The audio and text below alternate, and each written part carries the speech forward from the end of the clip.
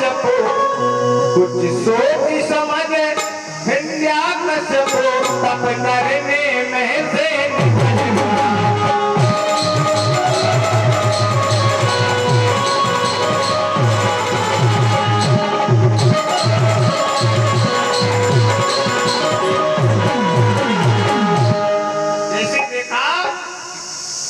भाई का मरना सुनते ही भाई का रक्त उबल पड़ा। कुछ सोच, समझ हिंजा कश्यपु तप करने महल से निकल पड़ा। से बोला कि मैं आज मदरा से पर्वत पर जा रहा हूँ और घोर तप करूँगा। इतना तक कह दिया कि घोर तपों की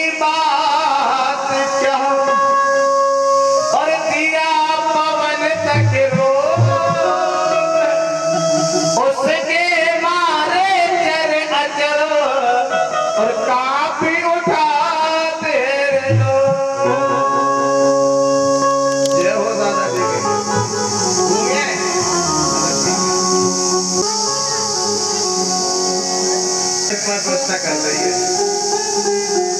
अब दादा हमारे बड़े परम शांतोषी ब्राह्मण। ऐसे ब्राह्मण मिल पाना बड़ा संभव क्योंकि उन्हें संसार से मतलब नहीं है। हाँ। और सबसे बड़ी चीज़ क्या है इसके अंदर? वो सच मांगो पुत्र वरदान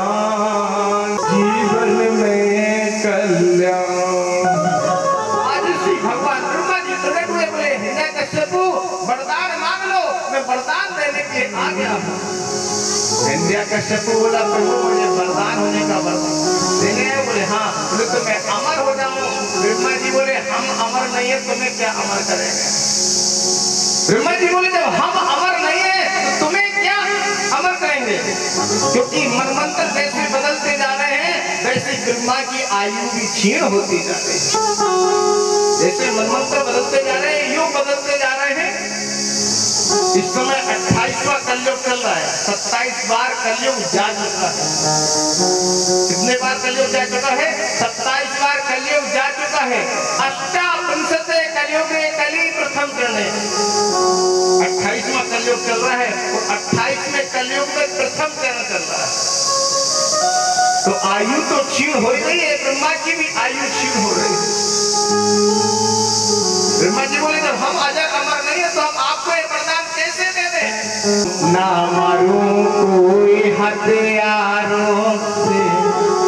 मेरा पृथ्वी पर मरण न हो, आकाश में मेरा मरण न हो। ना मरूं कोई हथियारों से।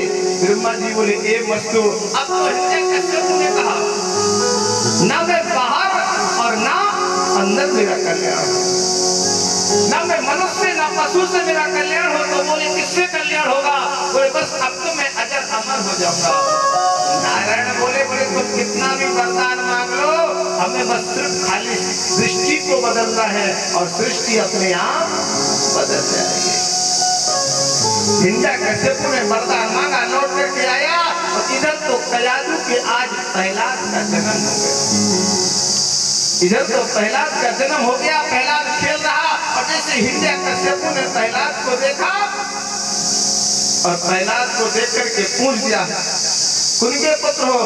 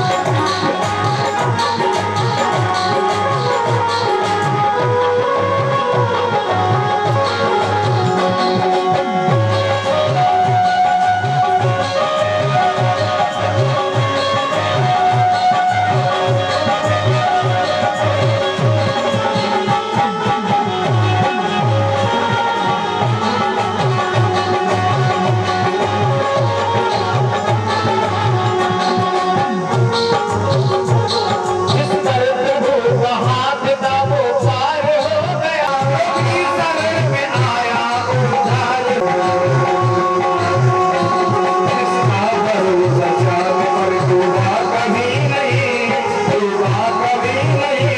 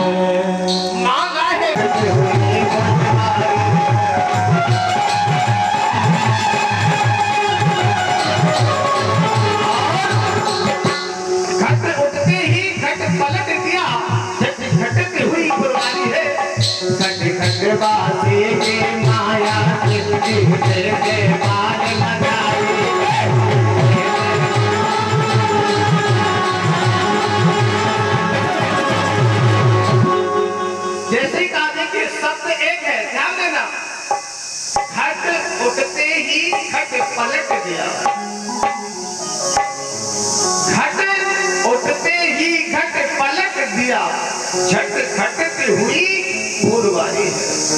घट घट बासी की माया से जीते थे बाल। एक शब्द सिर्फ़ घट है कि नहीं? दूसरा शब्द तो नहीं जुड़ा है कभी घट उठते ही घट पलट दिया झट खटक हुई फुलवारी है। घट घट बासी की माया से जीते थे बाल। लेकिन इसमें अर्थ हर का अलग है। एक घट मानी है, नीचे जो घट कलश रखता है। एक मानी है एक घट मानी है धातु का लोटा। एक घट घटवासी भगवान नारायण कैसे है, और झट खटक कोई घटना ऐसी खटक हो गई जिससे मझारी के बच्चे जीवित निकल आए। ऐसी घटना घटित हुई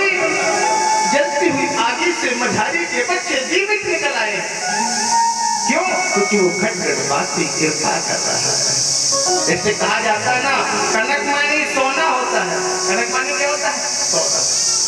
और अगर अधिक सोना मिल जाए तो व्यक्ति पागल हो जाता है। अधिक सोना मिल जाए तो व्यक्ति पागल हो जाता है। तो एक कनक मानी होता है धतूरा, जो भगवान शंकर जी को चढ़ाया जाता है। एक कनक मानी धतूरा होता है, जो भगवान शंकर जी को चढ़ाया जाता है सावन के महीने में। कुछ लोग हर सोमवार को चढ़ाते हैं और जो पाए सौ हो रहा है। अगर वो धतूरा खा ले गए तो फिर वो पागल हो जाता है। एक सोना मिल जाए तो पागल हो जाए, और एक खा ले तो पागल हो जाए। तो ऐसी एक घटवासी है, वो नारायण घटघटवासी है। उसकी महिमा को हर व्यक्ति नहीं